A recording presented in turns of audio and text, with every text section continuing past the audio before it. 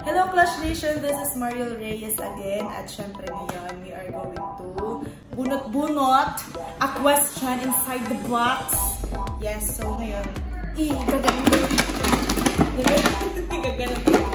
shake muna natin, di ba? So mga random questions lang ito na sasagutin ko.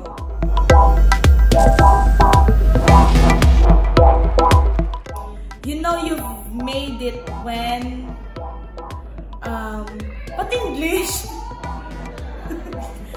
ano, Tagalog na lang ah. Kapag nakikita kong masaya yung ibang taon sa ginagawa ko. Ito, if you were given three wishes, what would it, what would they be? First is, uh, long life ng parents ko, syempre. Um, pangalawa naman, um, health naman para sa aming lahat, sa. And syempre, pangatlo, um, education din sa kapatid ko. Kasi syempre, as a breadwinner din sa bahay, um, gusto ko din na matulungan yung kapatid ko na kapag ako nakagraduate, ako din naman yung magpapaaral sa kanya. Diba? Ito, if you were to receive an award that everyone would hear about, what award would it be? Ay nako! Gusto ko to! Daldal award! Siguro tatanungin ko ibang tao, or kung, kung mag-a-ask kayo ng, ano, ng about ng personality ko, ewan ko na lang. Ito. If you were to pick one time of the day when you are most alive and active, what would it be? I think morning.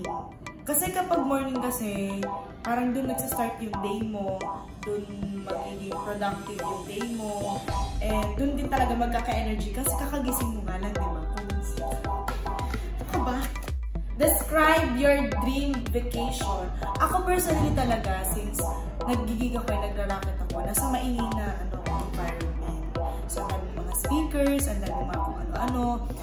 Mas gusto ko lang personally na nasa beach, tapos, ano, tapos gusto ko quiet lang, tapos gusto ko yung fresh air, ganun. Although, nasa province naman kami, pero iba talaga yung talagang masisingot mo talaga. So yun, ako personally talaga gusto ko sa mga quiet place na and nakaka-relax. And of course, maraming maraming salamat again, Flash Nation, sa pag panonood ng aking video ngayon kahit walang sense. Huy! Pero maraming maraming salamat po. And syempre, supportahan niyo po ako dito sa The Clash at manood po kayo kung ano pang iba't ibang mga pasapog. Maraming salamat!